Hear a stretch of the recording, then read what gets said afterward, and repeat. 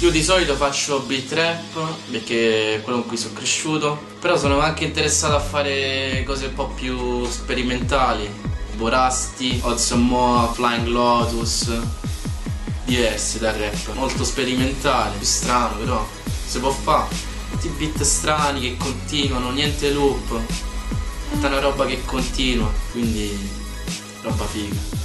La scena rap italiana mi piace, però secondo me non è abbastanza sperimentale. Troppi anni che la, questi rapper fanno sempre le stesse cose, però si può fare. Cioè pian piano rap italiano sta, sta provando a fare cose nuove, che dopo una certa, se devo dire la verità, stucca un po'. In Italia i rapper che mi piacciono un botto sono Fibra, Fibra spacca, riesce a fare di tutto pure se è mainstream, stessa cosa i Club Dogo, mainstream però riescono a fare delle cose che spaccano. Poi pure i rapper eh, indipendenti, underground, tipo il Turco, Next Cassell, Wells, Demon Science, sono un sacco di rapper che mi piacciono.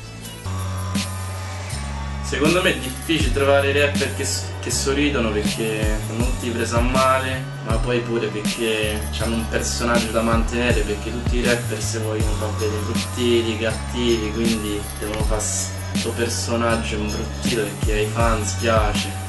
Pure io non sorrido mai. Il rap lo fa quello incazzato se viene dalla strada di solito, quello cresciuto nella borgata che ha avuto una vita difficile che adesso ha voglia di raccontare cose. Quindi diciamo che è quello incazzato che lo fa. Ed è difficile che il rap ti fa incazzare, perché se ti fa incazzare sei un coglione.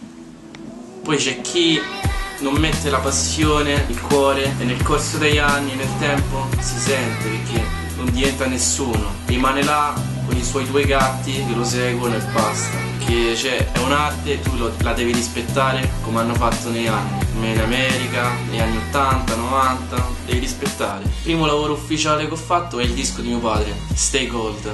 Il progetto è nato con mio padre, che era appena ritornato dallo studio di Luciano con un po' di pezzi che aveva registrato. E mi diceva che voleva prendere un po' di beat in giro. Ha registrato poi pian piano iniziava a piacere lo stile che stavo a fare, iniziava a prendere tutti i beat mia. Poi alla fine ha deciso di, di fare tutto il disco con me perché in Italia cioè non è mai successo che un padre e figlio fanno un disco insieme. Nel disco ci sta Fabri Fibra, Club Dogo, Emischilla, Antics, Wells, Seppia, Sagar Secco, Mio per la strada, Ion e Gitano.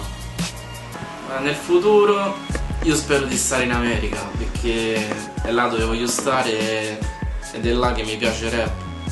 Sinceramente vorrei produrre tutti artisti americani, magari svolto, capito? Perché là è facile, là basta che dai in beat a un manager, magari quel manager lo fa sentire a quel rap, che ne so, tipo Lil Wayne, Rick Ross, ed è fatto, hai svoltato a vita.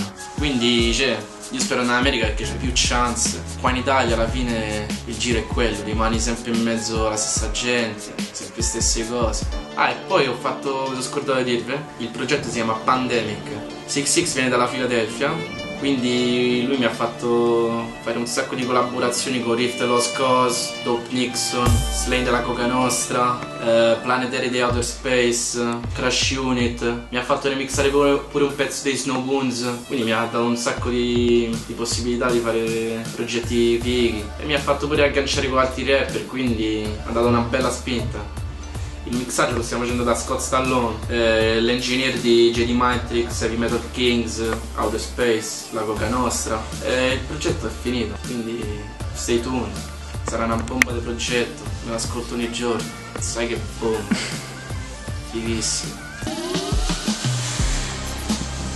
Quasi Clook, saluto Basilare, Silver Squad, Balo 1, Ertoni, Muccio, Er Thomas Lozzato che mi ha fatto il video, White grazie per l'intervista, saluto mio padre che sta in cucina a cucinare, dopo si magna, saluto tutti, quindi ai tutti a fanculo.